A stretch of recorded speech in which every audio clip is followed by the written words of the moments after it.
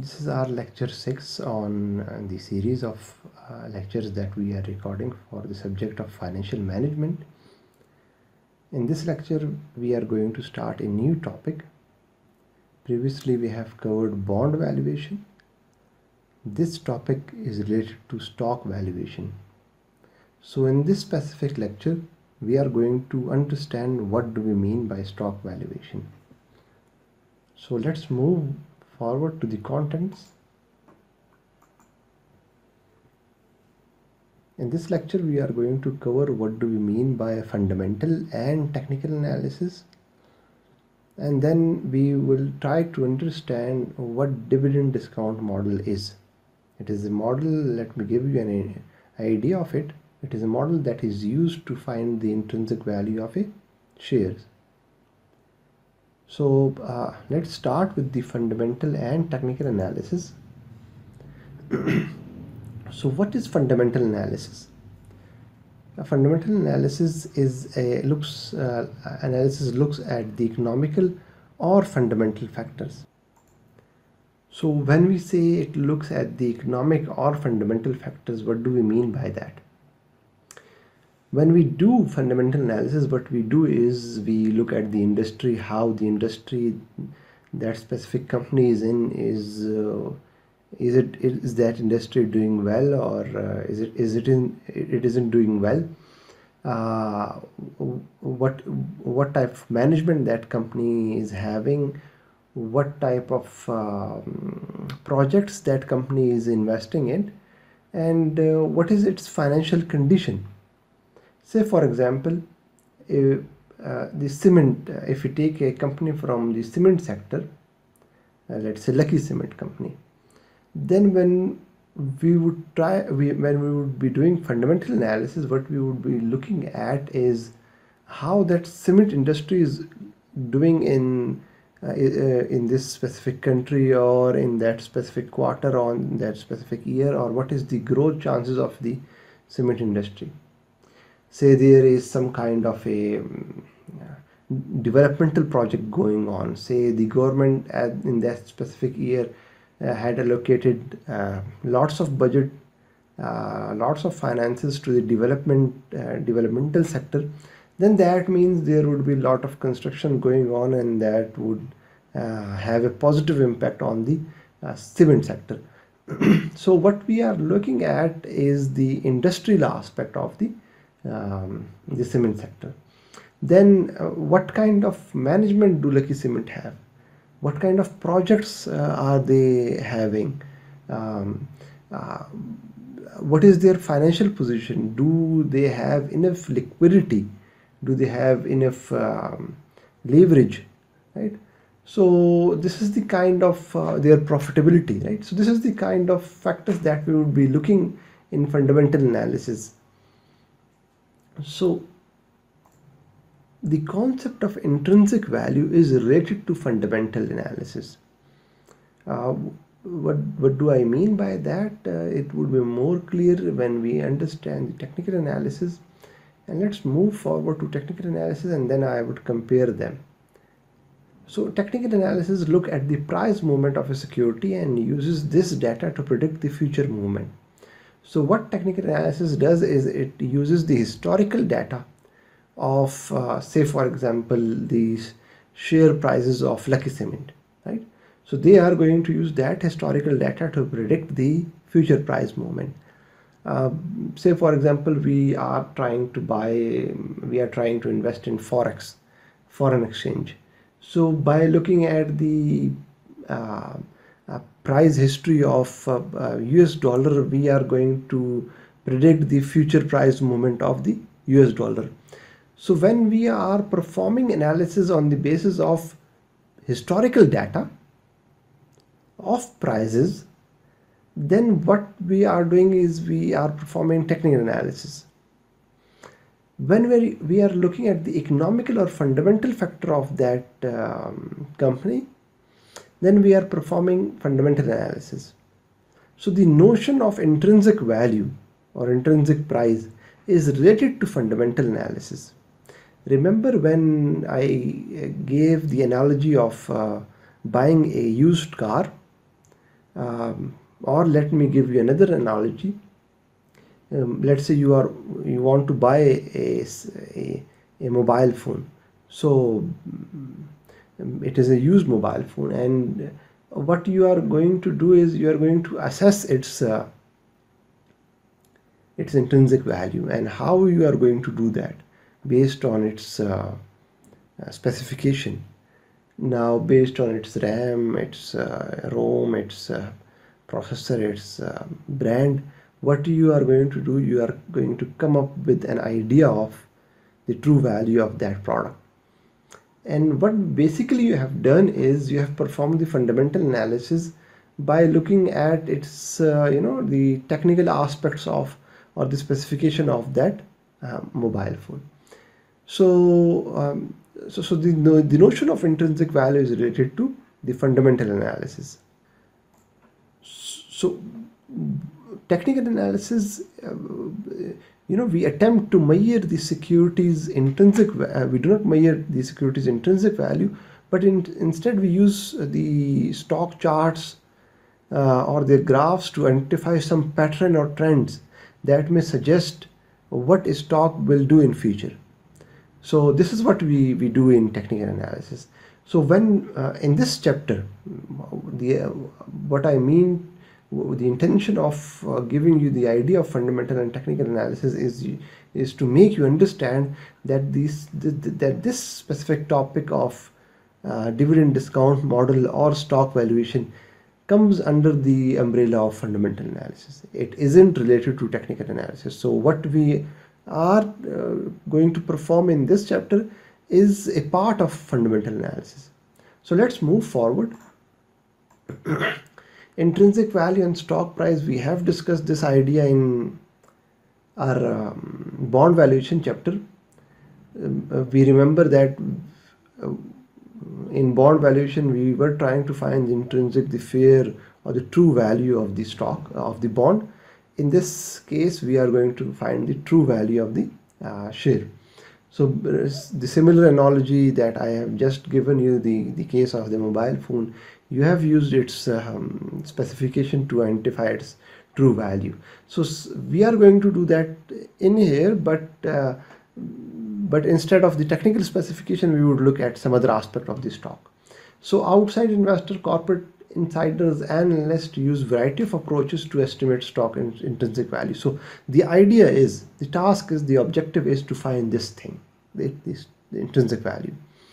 And when that intrinsic value is uh, is greater than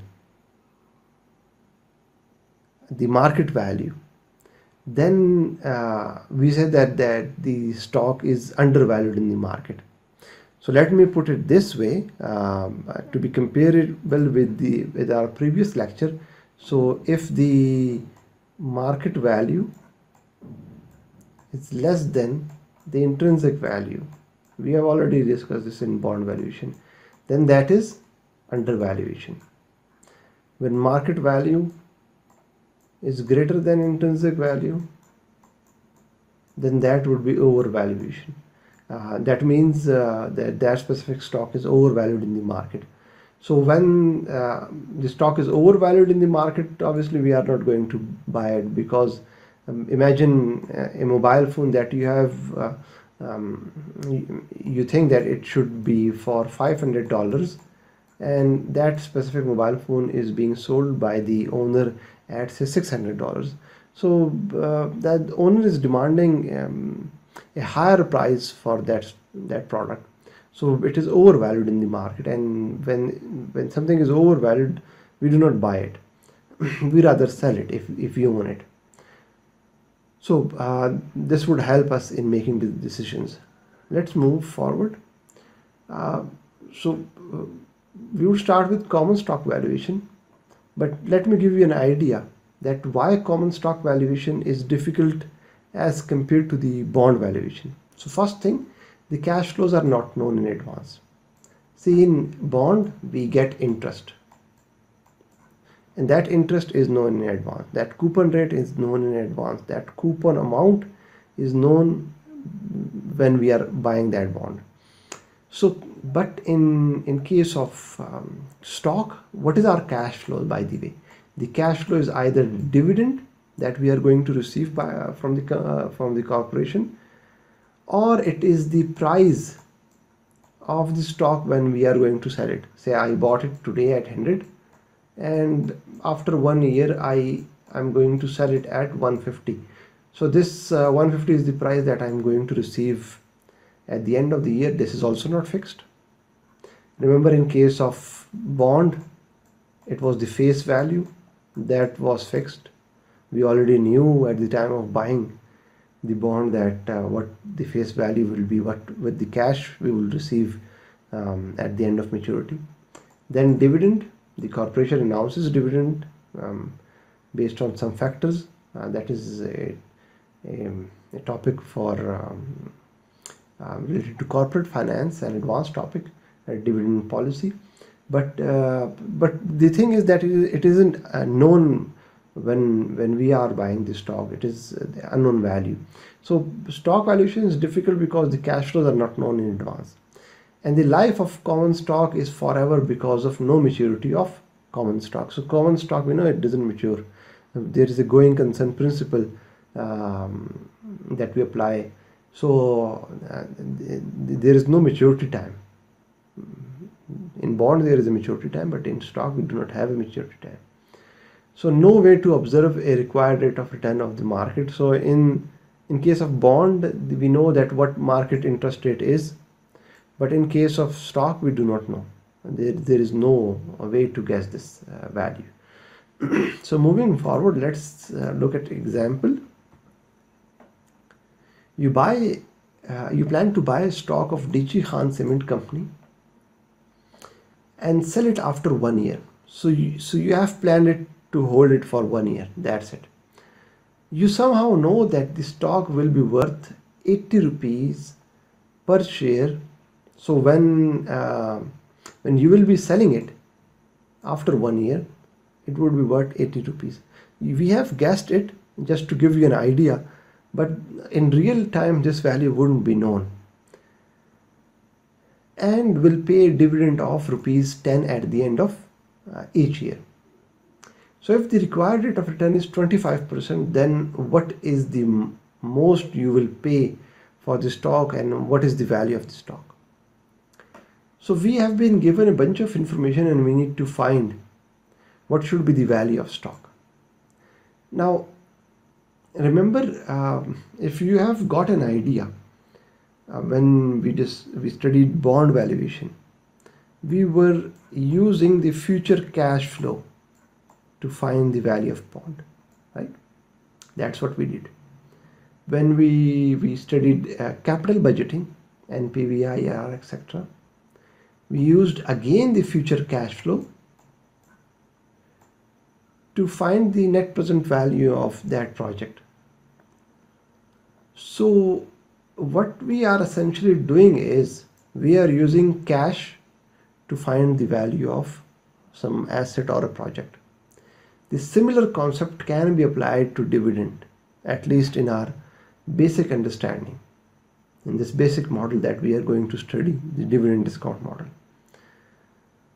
So, uh, so the two cash amount that we are going to receive is the 80 rupees at the end of one year and the 10 rupees at one of at the end of one year. So we can say that the current present value of this stock would be equal to the present value of dividend plus the present value of this stock price that we are going to receive after one year. Uh, and we know how do we find present value. It is 1 divided by r raised to power 1 and it would be 1 divided by r raised to power 1 so we know this. So let's build our model our dividend discount model on the basis of this idea we are going to carry this example further right? So we have just understood that if I am going to uh, find the true value of this uh, stock then it would be the um, from our previous understanding it would be the uh, present value of dividend plus the present value of the uh, price that we are going to sell it. And combine those present values we we have the uh, current price of that stock current value of that stock. So this is what uh, what we have written in our previous example right this p1 and d d divided by 1 plus r raised to power n okay now the problem is that we do not know this P1. In previous example, we have assumed that the price at the end of one year is going to be 80 rupees. But in real life, we do not know it. The stock market is uh, difficult to predict. So how do we know P1? We know that P1 should be again equal to the dividend that we are going to receive at the end of second year its present value plus the present value of p2 so if we do this uh, divided by r raised to power 1 then it must give us the present value of p1 and we can put that value in here. So this this is what we got. Uh, dividend 2 p1 p2 and their present value. And we will get p1 remember we haven't used 2 as the exponent. Why is that so? Because we are just discounted it for one year. So when we would have this p1 we can input that p1 value here and we would have our uh, intrinsic value of the stock but you have realized the issue we do not know p2 right so what we can do, we know that P2 should be equal to what? D3, its present value, plus P3. So, so you have guessed it. Uh, what P2 is equal to, it's D3 plus P3 uh, again discounted for uh, one year. But again, we do not know P3. So you, you, you have got an idea that what the issue is that no matter what we do the price would be unknown but one thing that we know is that a corporation is a going concern and if we assume that that corporation is going to uh, last forever. Or at least say for a long time period say for example 100 years just to give you an idea. Then we know that the p100 divided by 1 plus r raised to power 100 would be theoretically equal to 0 or it would be quite a small value no matter what the price is.